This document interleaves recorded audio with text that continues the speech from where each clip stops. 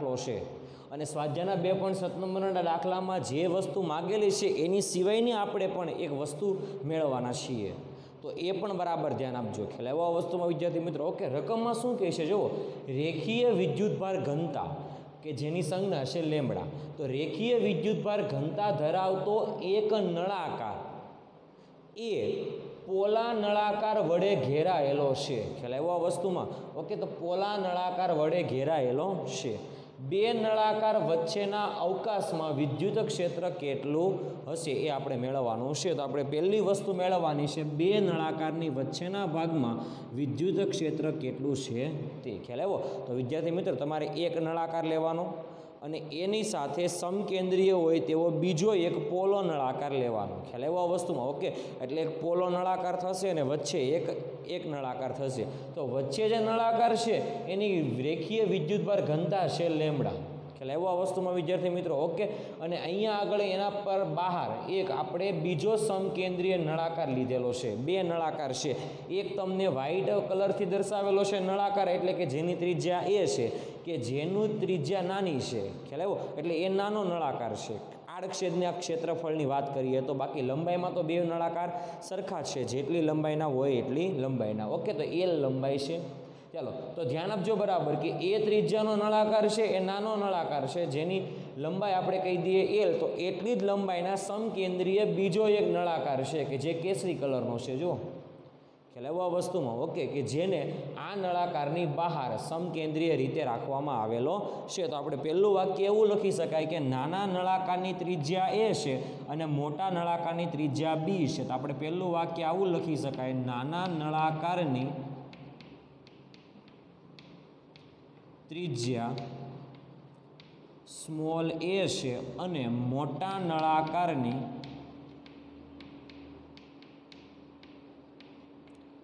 ત્રિજ્યા બી છે. ખ્યાલ આવ્યો? પરંતુ બંને નળાકારની લંબાઈ કેવી છે? એક સમાન છે. રેખીય ઘનતાનું સૂત્ર આવે લેમડા બરાબર ક્યુ વિદ્યુતભારના છેદમાં લંબાઈ. તો એકમ લંબાઈ દીઠ રહેલો વિદ્યુતભાર કે જેને કહેવાય રેખીય વિદ્યુતભાર ઘનતા. ખ્યાલ એવો આ વસ્તુમાં? ઓકે. તો ક્યુ એટલે આપણે કહીએ વિદ્યુતભાર. ઓકે, ચાલો. હવે આપણે મેળવવાનું શું છે? તો કે બે નળાકારની વચ્ચેના અવકાશમાં વિદ્યુત ક્ષેત્ર. ખ્યાલ એવો વસ્તુમાં, વિદ્યાર્થી મિત્રો? ઓકે, તો કાં તો વિદ્યુત ક્ષેત્ર બહારના નળાકારથી અંદરના નળાકાર તરફ હશે અને કાં તો અંદરના નળાકારથી બહારના નળાકાર તરફ હશે. માની લો કે તમે આ જે મોટો નળાકાર છે, બી ત્રિજ્યાનો નળાકાર. એ બી ત્રિજ્યાના નળાકાર ઉપર ધન વિદ્યુતભાર છે એમ માની લો. અને નાના નળાકાર ઉપર ઋણ વિદ્યુતભાર છે એમ માની લો. તો ક્ષેત્ર ક્યાં હશે? બીથી એ તરફ હશે. ખ્યાલ એવો આ વસ્તુમાં, વિદ્યાર્થી મિત્રો? જે તમને આકૃતિમાં પણ દર્શાવેલું છે કે નળાકાર એક હશે અને એની ફરતે બીજો નળાકાર છે, તો કે ક્ષેત્ર બધું ક્યાં હશે? અંદર તરફ હશે. ખ્યાલ એવો આ વસ્તુમાં, વિદ્યાર્થી મિત્રો? ઓકે, તો આપણે માની લઈએ કે મોટા નળાકાર ઉપર ધન વિદ્યુતભાર છે, નાના નળાકાર ઉપર ઋણ વિદ્યુતભાર છે. એટલે આની રેખીય વિદ્યુતભારની ઘનતા આવશે ધન અને આની રેખીય વિદ્યુતભારની ઘનતા આવશે ઋણ આવશે. ખ્યાલ એવો આ વસ્તુમાં, વિદ્યાર્થી મિત્રો? ઓકે, શા માટે રેખીય વિદ્યુતભાર ઘનતા? કારણ કે આ જે લંબાઈ છે ને, એ લંબાઈ આ ત્રિજ્યા કરતાં બહુ મોટી છે. ખ્યાલ એવા વસ્તુમાં? એટલે એક પાતળો પોલો પાઇપ કહીએ ને આને, તો પણ કહી શકાય. ખ્યાલ એવા વસ્તુમાં? વિદ્યાર્થી મિત્રો, પોલો નળાકાર કહી શકાય. ઓકે, ચલો. તો L very greater than A અને બી આપણે એવું કહી શકાય. તો કે અહીંયા આગળ જે લંબાઈ છે, તો એલ એ બહુ જ મોટો છે એ અને બી કરતાં. ખ્યાલ આવ્યો? આ વસ્તુમાં વિદ્યાર્થી મિત્રો, એટલે એલ મોટો છે, કોના કરતાં? એ કરતાં. અને એલ પણ મોટો છે, કોના કરતાં? બી કરતાં. એટલે નળાકારની લંબાઈ જે છે, એની ત્રિજ્યા કરતાં તો મોટી છે. ખ્યાલ આવ્યો આ વસ્તુમાં વિદ્યાર્થી મિત્રો? ઓકે, ચાલો. તો આના ઉપર આપણે માની લઈએ કે ધન વિદ્યુતભાર વિતરિત છે. તો આની ઘનતા આવશે પ્લસ લેમડા આના ઉપર ઋણ વિદ્યુતભાર છે, એટલે આની ઘનતા આવશે માઇનસ લેમડા માટે ક્ષેત્ર બહારના નળાકારથી અંદરના નળાકાર તરફ બધી દિશામાં હશે. ખ્યાલ આવ્યો આ વસ્તુમાં? ત્રિજ્યાવર્તી દિશામાં અંદર તરફ હશે. ઓકે તો આની ઘનતાની વાત કરીએ તો આની ઘનતા આપણે કહી શકાય કે પ્લસ લેમડા છે અને આની ઘનતા આપણે કહી શકાય માઇનસ લેમડા છે. ખ્યાલ એવા વસ્તુમાં, વિદ્યાર્થી મિત્રો? ઓકે હવે તમારે અંદરના ભાગમાં વિદ્યુત ક્ષેત્ર શોધવાનું છે. ઓકે તો એ નળાકારની બહારના ભાગમાં અને બી નળાકારની અંદરના ભાગમાં જો વિદ્યુત ક્ષેત્ર શોધવું હોય તો આપણી પાસે ગાઉસનો નિયમ હતો પહેલા પાઠમાં. તો પહેલા પાઠમાં ગાઉસના નિયમ આધારિત તમારે ગાઉશન પૃષ્ઠ લેવું પડે. ખ્યાલ આવ્યો વસ્તુમાં? કાલ્પનિક ગાઉશન પૃષ્ઠ લઈએ તો એ કાલ્પનિક ગાઉશન પૃષ્ઠ પીળા રંગના તૂટક રેખા વડે નળાકારીય ગાઉશન પૃષ્ઠ લીધેલું છે કે જેની ત્રિજ્યા આર છે. જો એક નળાકારીય કાલ્પનિક ગાઉશન પૃષ્ઠ છે. આ પહેલો નળાકાર છે, એની ફરતે મોટો નળાકાર છે અને એ બંને નળાકારની વચ્ચેના ભાગમાં નળાકારીય ગાઉશન પૃષ્ઠ લેવાનું છે. ખ્યાલ એવો આ વસ્તુમાં? ઓકે, તો અંદરના ભાગમાં જો આપણે વિદ્યુત ક્ષેત્ર શોધવું હોય તો સૌ પ્રથમ ધારો કે નળાકારની એટલે બંને નળાકારની અંદરના ભાગમાં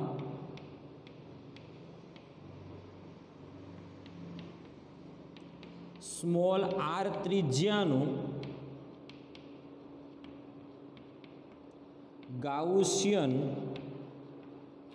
પૃષ્ઠની કલ્પના કરો. અને એ ગાઉશન પૃષ્ઠ વડે ઘેરાયેલો વિદ્યુતભાર આપણે સ્મોલ ક્યુ કહીએ, લંબાઈ એલ કહીએ, તો રેખીય વિદ્યુતભારની ઘનતા આવે લેમડા બરાબર ક્યુ બાય એલ તો જ્યાં ક્યુ એટલે ઘેરાયેલો વિદ્યુતભાર એટલે અહીંયા કહેવાય સિગ્મા ક્યુ બરાબર ઘેરાયેલો વિદ્યુતભાર ઘેરાયેલો વિદ્યુતભાર સિગ્મા ક્યુ કેટલો છે તો કે ક્યુ જેટલો છે તો sigma q is equal to q સૂત્રનો કરતા બનાવો તો લેમડા ઇન્ટુ એલ ખ્યાલ આ વસ્તુમાં, વિદ્યાર્થી મિત્રો? ઓકે તો ગાઉસન પૃષ્ઠની કલ્પના કરી. હવે આપણે ગાઉસનું સમીકરણ વાપરી દઈએ. તો ગાઉસના સમીકરણ પરથી, ગાઉસના સમીકરણ પરથી ઈ વિદ્યુત ક્ષેત્ર ડોટ એ ક્ષેત્રફળ સદિશ is equal to sigma q upon epsilon zero ખ્યાલ એવો વસ્તુમાં, વિદ્યાર્થી મિત્રો? ઓકે, ચાલો. વિદ્યુત ક્ષેત્ર આપણે મેળવવાનું છે. ઓકે. એ એટલે આપણે ગાઉસન પૃષ્ઠનું ક્ષેત્રફળની વાત કરવી હોય, તો આ નળાકારીય ગાઉશન પૃષ્ઠ છે. તો નળાકારનું આડક્ષેદનું ક્ષેત્રફળ, અને આપણે વાત કરીએ. એ બે નળાકારની વચ્ચેના વિસ્તારમાં વિદ્યુત ક્ષેત્ર છે, પણ એ જે છે એ ગાઉશન પૃષ્ઠનું ક્ષેત્રફળ છે. ખ્યાલ આવ્યો આ વસ્તુમાં, વિદ્યાર્થી મિત્રો? અહીંયા આગળ આપણે ગાઉશન પૃષ્ઠ, આર ત્રિજ્યાનું ગાઉશન જે પૃષ્ઠ છે, એ નળાકારીએ ગાઉશન પૃષ્ઠ લીધેલું છે. ખ્યાલ આવ્યો આ વસ્તુમાં? તો એનું આપણે ક્ષેત્રફળ શોધવું પડશે. તમારી પાસે નળાકારીએ ગાઉશન પૃષ્ઠ છે કે જેની ત્રિજ્યા આર છે? માની લો કે આ નળાકારીએ ગાઉશન પૃષ્ઠ છે, આવું નળાકાર. ખ્યાલ આવ્યો આ વસ્તુમાં, વિદ્યાર્થી મિત્રો? ઓકે, કે જેની લંબાઈ એલ છે અને આ નળાકાર ગાઉશન પૃષ્ઠ લીધું, તો આ નળાકારની ત્રિજ્યા આર છે. તો આપણે આ નળાકારે ગાઉશન પૃષ્ઠનું ક્ષેત્રફળ મેળવવું હોય, તો તમારે આના નળાકારને આમ ખોલી નાખવાનું. ઓકે, તો જો આ લંબચોરસ પ્લેટ જ થઈ ગઈ, કે જેની લંબાઈ થશે પરિઘ જેટલી, કારણ કે તમે ભેગી કરો, તો પરિઘ જ બનશે. કારણ કે આર ત્રિજ્યા, ખોલો એટલે આટલી લંબાઈ હશે. પરિઘ જેટલી. તો આ ટુ પાય આર અને આ થશે નળાકારની લંબાઈ. તો આનું ક્ષેત્રફળ કેટલું થાય? લંબચોરસ પ્લેટનું. તો કે લંબાઈ ગુણ્યા પહોળાઈ. તો લંબાઈ કેટલી? Two pi r. પહોળાઈ કેટલી છે? એલ છે. અથવા લંબાઈ આને કયો? એલ. અને પહોળાઈ કેટલી છે? Two pi r. તો આખું ક્ષેત્રફળ કેટલું થશે? Two pi r into l થશે. ખ્યાલ આવ્યો? આને ભેગું કરી દો. તો આ નળાકાર્ય જે ગાઉશન પૃષ્ઠ હતું, એ ગાઉશન પૃષ્ઠની સપાટીનું ક્ષેત્રફળ થઈ ગયું. ખ્યાલ આવ્યો? તો નળાકાર્ય ગાઉશન પૃષ્ઠની સપાટીનું ક્ષેત્રફળ કેટલું આવશે? Two pi r into l તો આપણે હવે લખી શકાય. ઈ એટલે વિદ્યુત ક્ષેત્ર એ એટલે કે ક્ષેત્રફળ two pi r into l sigma q upon epsilon zero sigma q બરાબર ક્યુ છે? ક્યુ બરાબર લેમડા ઇન્ટુ એલ છે upon epsilon zero l l cancel. આ સમીકરણ પરથી વિદ્યુત ક્ષેત્રને સૂત્રનો કરતા બનાવો. કારણ કે આપણે વિદ્યુત ક્ષેત્ર મેળવવાનું છે. એટલે વિદ્યુત ક્ષેત્રને સૂત્રનો કરતા બનાવો. એટલે સૂત્ર બને lambda upon two pi r into epsilon, કે જેને આપણે આવું કહેતા હતા, two pi epsilon zero into r. તો બે નળાકારની વચ્ચેના ભાગમાં વિદ્યુત ક્ષેત્ર થઈ ગયું. Lambda upon two pi epsilon zero into r આવું તો યાદ કરો, આપણે પહેલા પાઠમાં ગાઉસના નિયમનો પહેલો ઉપયોગ આવેલો. અનંત લંબાઈના તારને લીધે ઉદ્ભવતું વિદ્યુત ક્ષેત્ર કેટલું હતું? ટુ કે લેમડા અપોન આર અથવા lambda upon two pi epsilon zero અહીંયા એપ્સેલોન ઝીરોની કિંમત વન અપોન ફોર પાય કે મૂકી દો, તો આપણી પાસે સમીકરણ બીજું મળે. એ સમીકરણ આવું જ મળશે. ટુ કે લેમડા અપોન આર જેટલું જ મળશે. ખ્યાલ આવો આ સમીકરણ લખો કે આ સમીકરણ લખો, કોઈ ફરક પડશે નહીં. બંને સમીકરણ જે છે એક સરખા છે. કેની value one upon four pi epsilon મૂકો તો ઉપર આવે અને એપ્સેલોનની value one upon four pi k મૂકો તો આ સમીકરણ આવશે. ખ્યાલ આવો પણ યાદ રાખવાનું, આ જે સમીકરણ જે છે એ અનંત લંબાઈના તારને લીધે ઉદ્ભવતા વિદ્યુત ક્ષેત્ર જેવું સમીકરણ છે. ખ્યાલ આવ્યો આ વસ્તુમાં? ઓકે? ઓકે વિદ્યાર્થી મિત્રો, તો વધારાની માહિતી આપણી એ છે કે જો તમને આ નળાકાર જે છે બે નળાકાર છે. ખ્યાલ આવ્યો અને બંને પોલા નળાકાર છે અને એ સુવાહક છે. તો કે સુવાહક નળાકારને અમુક અંતરે રાખીએ, તો આપણે વાત કરેલી તે પ્રમાણે. કેપેસિટર એટલે બે સુવાહકોને અમુક અંતરે રાખીએ અને જે તંત્ર તૈયાર થાય એને કહેવામાં આવે કેપેસિટર. તો અહીંયા આગળ આપણે વાત કરીએ તો આ નળાકારીય કેપેસિટર કહેવાય. જે આપણે કેપેસિટરના પ્રકારો ઘણા દિવસ પહેલાં આપણે કેપેસિટર શરૂ કરેલું, જ્યારે શરૂઆતમાં કીધેલું કેપેસિટર ઘણા બધા પ્રકારના છે. એમાંથી આપણે પાઠમાં ઘણી વખત સમાંતર પ્લેટ કેપેસિટર ભણી ગયા. ઓકે? પરંતુ એમાં આપણે અલગ અલગ પ્રકાર આપેલા. એમાંથી એક પ્રકાર આયરો હતો કે નળાકાર્ય ગોળ, એટલે કે બે નળાકારથી બનતું કેપેસિટર એમાં આપણે આકૃતિ આ દોરેલી ખ્યાલ આવ્યો તો આપણે આજે નળાકારનું કેપેસિટરનું કેપેસિટન્સનું સૂત્ર મેળવવાનું છે. તો હવે આપણે વાત કરીએ કેપેસિટરની તો નળાકાર્ય કેપેસિટર અને એ કેપેસિટરનું આપણે કેપેસિટન્સ મેળવવાનું છે. ખ્યાલ આવ્યો આ વસ્તુમાં? તો નળાકારીય કેપેસિટરનું કેપેસિટન્સનું સૂત્ર કેટલું આવે એ આપણે મેળવવાનું છે. અત્યાર સુધી આપણે સમાંતર પ્લેટ કેપેસિટરનું કેપેસિટન્સનું સૂત્ર આપણે ભણી ગયા. Epsilon zero A upon d. Okay, એક ગોળાનું કેપેસિટરનું કેપેસિટન્સ ભણી ગયા આર અપોન કે અથવા four pi epsilon zero into r અને બીજો ગોળો અનંત અંતરે હોય એવી આપણે વાત કર્યા. અને ત્યારે આપણે બીજા બે પણ પ્રકાર ભણેલા. કયા કયા? તો એક આ નળાકાર્ય કેપેસિટર અને હજુ એક હતું. તો કે ગોળીય કેપેસિટર એટલે ગોળાનું કેપેસિટર. પણ બે ગોળા હોય તેનું કેપેસિટર. અને એક ગોળો અંદર હોય અને બીજો ગોળો બહાર હોય. ખ્યાલ આવ્યો? એનું પણ આપણે શોધવાનું છે. આના પછીના લેક્ચરોમાં આવશે. અત્યારે આપણે નળાકાર્ય કેપેસિટર જેમ બન્યું, એ નળાકારીય કેપેસિટરનું કેપેસિટન્સ શોધવાનું છે. ખ્યાલ આવ્યો? તો તમારે કલ્પના કરવાની કે જે બહારનો નળાકાર છે ને, એ બહારના નળાકારને તમારે બેટરીના ઋણ ધ્રુવ સાથે જોડવાનું. અને બેટરીના ઋણ ધ્રુવ સાથે જોડો એટલે અર્થિંગ કરેલું કહેવાય. આપણે ઘણા દિવસ પહેલાં વાત કરેલી કે બેટરીનો ઋણ ધ્રુવ જે છે એ શૂન્ય સ્થિતિમાને હોય. અને જે સ્થિતિમાન શૂન્ય હોય એટલે કે એને આપણે અર્થિંગ કરેલું છે તેમ કહેવામાં આવે છે એટલે બહારના નળાકારને અર્થિંગ કરેલું છે એમ કહી શકાય. તો બહારનો નળાકાર જે છે એ શૂન્ય સ્થિતિમાન છે એવું કહેવાય. અને અંદરનો નળાકાર જે છે એનું સ્થિતિમાન જે હોય એને આપણે વી જેટલું સ્થિતિમાન કહીએ છીએ. ખ્યાલ આવ્યો? તો બે નળાકારની વચ્ચેના વિસ્તારમાં સ્થિતિમાન કેટલું હશે? એટલો બે નળાકારની વચ્ચે વિદ્યુત સ્થિતિમાનનો તફાવત કેટલો હશે? તો કે આનું સ્થિતિમાન ઝીરો, આનું સ્થિતિમાન વી તો બંને નળાકારની વચ્ચેના વિસ્તારમાં વિદ્યુત સ્થિતિમાનનો તફાવત કેટલો હશે? તો કે વી જેટલો હશે. ખ્યાલ એવો વસ્તુમાં, કારણ કે એક તો આપણે અર્થિંગ કરેલું છે અને આપણે બહારના નળાકારને અર્થિંગ કરીએ છીએ. ખ્યાલ આવ્યો આ વસ્તુમાં, વિદ્યાર્થી મિત્રો? ઓકે. અને જે નળાકારને અર્થિંગ કરીએ તે નળાકારનું સ્થિતિમાન શૂન્ય લેવાનું, તો બાકીનું જે નળાકાર વધે એનું સ્થિતિમાન આપણે વી કહીશું. ખ્યાલ આવ્યો? એટલે બંને નળાકાર વચ્ચે વિદ્યુત સ્થિતિમાનનો તફાવત પણ વી જેટલો જ થશે. ખ્યાલ આવ્યો આ વસ્તુમાં, વિદ્યાર્થી મિત્રો? ઓકે. તો આપણે હવે વી જેટલું સ્થિતિમાન મેળવવું હોય, સ્થિતિમાનની વ્યાખ્યા શું હતી? વી બરાબર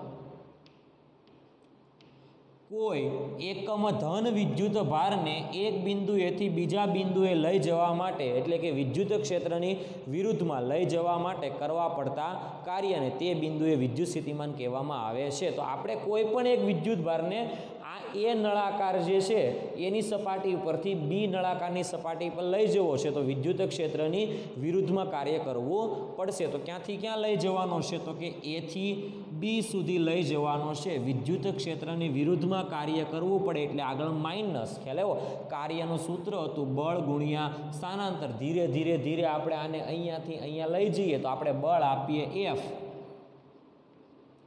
ડોટ સ્થાનાંતર કરાવીએ સૂક્ષ્મ ડી આર જેટલું સ્થાનાંતર. એફ બરાબર ક્યુ ઈ સૂત્ર હતું, તો આપણે સૂત્ર મૂકીએ. વી બરાબર માઇનસ એથી b q E dot d r કોને લઈ જઈએ છીએ? એકમ ધન વિદ્યુત ભારને. તો એકમ ધન વિદ્યુત ભાર માટે, એકમ ધન વિદ્યુત ભાર માટે ક્યુ બરાબર પ્લસ વન કુલમ મૂકીએ તો નવું સ્થિતિમાન મળે. વી બરાબર સંકલન એથી b E dot d r આગળ માઇનસ ખ્યાલ આવ્યો. હવે ધ્યાનથી જુઓ વિદ્યુત ક્ષેત્ર આ દિશામાં છે. આપણે જવાનું વિદ્યુત ક્ષેત્રની વિરુદ્ધમાં, એટલે બળ અને સ્થાનાંતર બંને એકબીજાની વિરુદ્ધ દિશામાં થાય, એટલે ખૂણો એકસો એટલે બળ અને સ્થાનાંતર વિરુદ્ધ, એટલે ક્ષેત્ર અને સ્થાનાંતર પણ વિરુદ્ધ છે એટલે ખૂણો એકસો એટલે આપણું સૂત્ર આવું બનશે. આગળ માઇનસ એથી B, E D R cos એકસો એંસી અંશ કોસ એકસો એંસી એ વેલ્યુ થશે માઇનસ વન એ માઇનસ વન આ માઇનસ વન પ્લસ તો આપણું સૂત્ર બનશે વી બરાબર એથી b E dot d r વિદ્યુત ક્ષેત્ર બે નળાકારની વચ્ચેના વિસ્તારમાં કેટલું હતું? તો કે સ્થાનાંતર જે રીતે બદલાય તે રીતે આપણે બળ પણ વધારવું પડશે.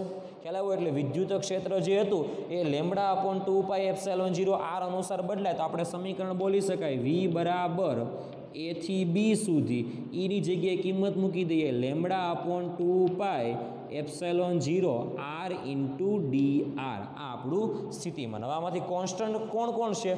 Lambda two pi epsilon zero એ સંકલનની બહાર જશે. એટલે આપણું નવું સ્ટેપ શું બનશે? સ્ટેપ શું બનશે? વી બરાબર સંકલન એથી બી એની પહેલાં આપણે સ્ટેપ જે કોમન હતું એ બહાર કાઢી લઈએ. Lambda upon two pi epsilon zero સંકલન એથી બી વધે શું? One upon r into d r. ખ્યાલ આવ્યો? વન અપોન આર છે એને ઉપર લઈએ તો આરની માઇનસ વન ઘાત થાય તો આપણું નવું સમીકરણ આવું બનશે. વી બરાબર lambda upon two pi epsilon zero સંકલન એથી બી આરની minus one into d r આરની minus one એટલે ડી આરની સાપેક્ષે આરનું આપણે સંકલન કરવાનું છે. ઘાતમાં આપણે એક વધારો કરીએ, વધેલી ઘાત છેદમાં લખીએ. તો અહીંયા માઇનસ વન ઘાત છે, એમાં એક વધારીએ તો આરની જીરો ઘાત થઈ જાય. એટલા માટે મેન્ટ્સવાળા એવું કહે છે કે વન અપોન આર ઇન્ટુ ડીઆરનું સંકલન તમારે ડાયરેક્ટ યાદ રાખી લેવાનું. શું યાદ રાખવાનું? એલએન આર યાદ રાખવાનું. તો આપણે એવું કહી શકાય કે આનું સંકલન હવે આપણે ડાયરેક્ટ યાદ રાખશું. ખબર પડી? પ્રોબ્લેમ શું એવો તે? આરની માઇનસ વન ઘાત કર્યું એટલે એમાં પણ એક ઘાત ઉમેરે એટલે ઘાત ઝીરો થઈ ગઈ. તો સંકલનનો કોઈ મતલબ રહેતો નથી. એટલે આપણે one upon r into d r જ્યાં હોય, ત્યાં આપણે એલ એન આર લખી દઈશું. એટલે આપણું સૂત્ર બનશે l n r. Upper limit હતી બી લોઅર લિમિટ હતી a upper limit minus lower limit એટલે વી બરાબર lambda upon two pi epsilon zero l n b minus l n a હવે l n b minus l n a એટલે l n b upon a કહી શકાય. તો વી બરાબર સૂત્ર આવે lambda upon two pi epsilon zero l n b upon a ખ્યાલ આવ્યો? તો આ આપણને મળી ગયું બે નળાકારની વચ્ચેના વિસ્તારમાં એટલે બે નળાકારની લીધે ઉદ્ભવતું વિદ્યુત સ્થિતિમાનનો તફાવત. ખ્યાલ એવો આ વસ્તુમાં? એવો પણ પ્રશ્ન પૂછી શકે અહીં આગળ કે બંને વચ્ચેના અવકાશમાં વિદ્યુત ક્ષેત્ર અને બંને નળાકારની વચ્ચેના વિસ્તારમાં વિદ્યુત સ્થિતિમાનનો તફાવત કેટલો? તો આ પણ આપણો એક જવાબ આવી શકે કે lambda upon two pi epsilon zero l n b upon a ખ્યાલ એવો આ વસ્તુમાં, વિદ્યાર્થી મિત્રો? ઓકે, આપણને સ્થિતિમાન મળી ગયું. હવે આપણે કેપેસિટન્સ મેળવવું હોય તો કેપેસિટરનું કેપેસિટન્સનું સૂત્ર હતું સી બરાબર Q by V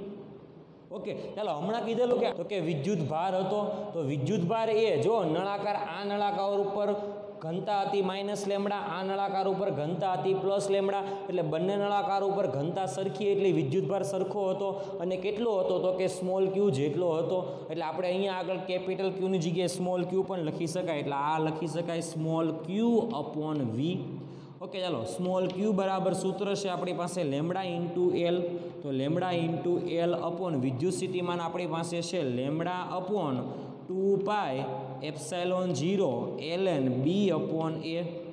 Lambda lambda, cancel. છેદનો છેદ ક્યાં જશે? અંશમાં જશે. એટલે સૂત્ર બનશે two pi epsilon zero L upon L N B upon A. આ સ્ટેપ થોડુંક અટપટું છે એટલે યાદ રાખજો. સી બરાબર two pi epsilon zero L upon L N B upon A. ખ્યાલ આવ્યો આ વસ્તુમાં, વિદ્યાર્થી મિત્રો? ઓકે. તો આ જે હતું સૂત્ર, એ સૂત્ર આપણને નળાકાર્ય કેપેસિટરના કેપેસિટન્સનું સૂત્ર મળેલું છે. એટલે સૂત્ર બરાબર યાદ રાખવાનું છે. આ સૂત્ર યાદ રાખવાનું. શોર્ટકટમાં સૂત્ર યાદ રહેશે એટલે દાખલા આવશે એટલે દાખલા આપણને ડાયરેક્ટ ખબર પડશે. આ સૂત્ર થિયરીમાં સાબિત કરેલું નથી, આની કોઈ થિયરી છે નહીં, પણ સૂત્ર ડાયરેક્ટ યાદ રાખવા કરતાં એની સાબિતી કઈ રીતે આવી આપણે જોઈ લઈએ ને. હવે આપણે સૂત્ર યાદ રાખી લઈશું, ઓકે? તો સૂત્ર આવે two pi epsilon zero L upon L N B upon A. L N B, જ્યાં બી એટલે મોટા નળાકારની ત્રિજ્યાના છેદમાં નાના નળાકારની ત્રિજ્યા આવશે. આ ખાસ યાદ રાખજો. એલ એન બી અપોન એમાં બી એટલે મોટા નળાકારની ત્રિજ્યા છે એ એટલે નાના નળાકારની ત્રિજ્યા છે ખ્યાલ એવા વસ્તુમાં, વિદ્યાર્થી મિત્રો? એલ એટલે નળાકારની લંબાઈ. એ તો બંને માટે એક સમાન છે. ઓકે તો સૂત્ર મળશે two pi epsilon zero L upon L N B upon A ખ્યાલ આવ્યો? આ હતું નળાકાર્ય કેપેસિટનનું કેપેસિટન્સનું સૂત્ર? આ હતું નળાકાર્ય કેપેસિટનના બે.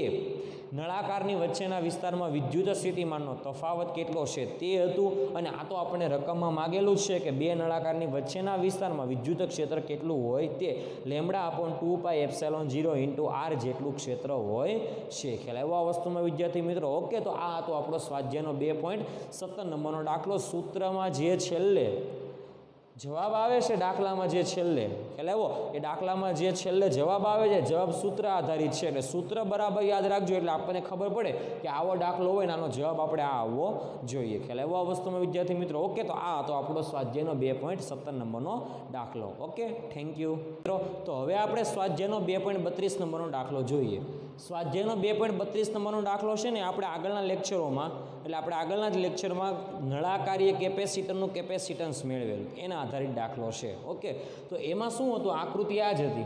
અંદરના નળાકાર એટલે નાના નળાકારની ત્રિજ્યા એ, મોટા નળાકારની ત્રિજ્યા બી. એટલે આ તંત્ર બને, તંત્રનું કેપેસિટરના કેપેસિટન્સનું સૂત્ર આપણે હતું. નળાકારના કેપેસિટરનું કેપેસિટન્સનું સૂત્ર હતું. સી બરાબર two pi epsilon zero L upon L N B upon A. આ સૂત્ર હતું આપણું. ખ્યાલ એવો વસ્તુમાં? ઓકે, ચાલો.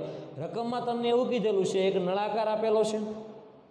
અંદરના નળાકારના જે ત્રિજ્યા છે એની ત્રિજ્યા એક પોઈન્ટ ચાર સેન્ટીમીટર છે, બહારના નળાકારની ત્રિજ્યા એક પોઈન્ટ પાંચ સેન્ટીમીટર છે, એટલે મોટાની ત્રિજ્યા બી કીધેલી, નાનાની ત્રિજ્યા એ કીધેલી. નળાકાર ઉપર ક્યુ જેટલો વિદ્યુત ભાર, એટલે ત્રણ પોઈન્ટ પાંચ માઇક્રોકુલમ જેટલો વિદ્યુત ભાર પ્રેરિત કરેલો છે. ઓકે? તો આપણને બે વસ્તુ માગેલી છે, તંત્રનું કેપેસિટન્સ અને અંદરના નળાકારનું સ્થિતિમાન. અને વધારે માહિતીમાં તમને એવું કીધેલું છે, બહારના નળાકારને અર્થિંગ કરેલો છે. આપણે આગળના લેક્ચરમાં, થિયરીમાં અથવા લેક્ચરમાં આપણે વાત કરી ગયા કે જેની સાથે અર્થિંગ કરેલું હોય તો એ પ્લેટ ઉપર સ્થિતિમાન ઝીરો હોય.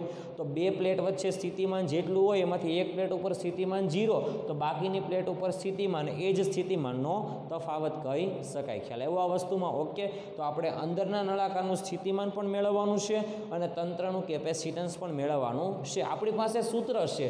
Two pi epsilon zero L upon L N B upon A. એમાં ટુ પાઈની કિંમત તો આપણને ખબર છે. બે. પાઈની કિંમત ત્રણ પોઈન્ટ ચૌદ.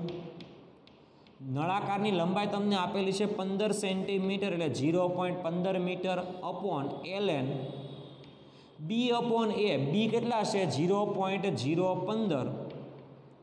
અને એ કેટલા છે ઝીરો પોઈન્ટ ઝીરો ચૌદ. પહેલાં તમારે આટલાની ગણતરી કરવાની, લોગ લેવાનો અને લોગ લીધા બાદ આપણે આની સાથે એનો ભાગાકાર કરવાનો. ઓકે, તો એનું જે કેપેસિટન્સ આવે, સમતુલ્ય કેપેસિટન્સ તમને આખી ગણતરી આધારિત કેપેસિટન્સ મળશે.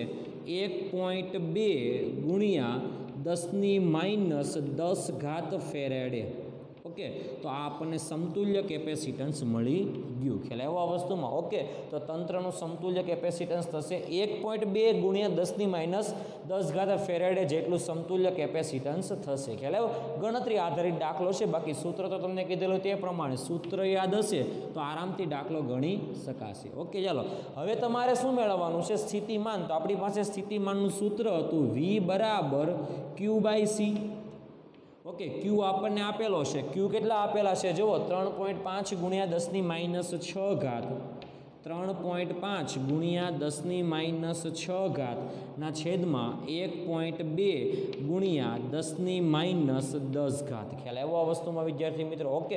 આનો તમે ગુણાકાર કરશો. સોરી આનો તમે ગુણોત્તર લેશો એટલે ગુણોત્તર મળશે બે પોઈન્ટ નવ ગુણ્યા દસની ચાર ઘાત વોલ્ટ જેટલું સ્થિતિમાન હશે. ખ્યાલ એવો વસ્તુમાં, વિદ્યાર્થી મિત્રો? ઓકે, તો અંદરના નળાકારનું સ્થિતિમાન એ જ. બે નળાકાર વચ્ચે સ્થિતિમાનનો તફાવત. આપણને બે રાશિ માગેલી હતી. કેપેસિટન્સ માગેલું હતું, એ પણ મળી ગયું તંત્રનું. અને સ્થિતિમાન અંદરના નળાકારનું માગેલું હતું, એ પણ આપણને મળી ગયું છે. ખ્યાલ એવો આ વસ્તુમાં, વિદ્યાર્થી મિત્રો? ઓકે, તો આ હતો સ્વાધ્યાયનો બે પોઈન્ટ બત્રીસ નંબરનો દાખલો. માત્ર ને માત્ર સૂત્ર આધારિત દાખલો છે. બાકી કોન્સેપ્ટ તો આપણા ક્લિયર હશે. તો આપણને આરામથી દાખલામાં જવાબ આવી જશે. ખ્યાલ એવો આ વસ્તુમાં, વિદ્યાર્થી મિત્રો? ઓકે, તો આ હતો આપણો સ્વાધ્યાયનો બે પોઈન્ટ બત્રીસ નંબરનો દાખલો. Okay thank you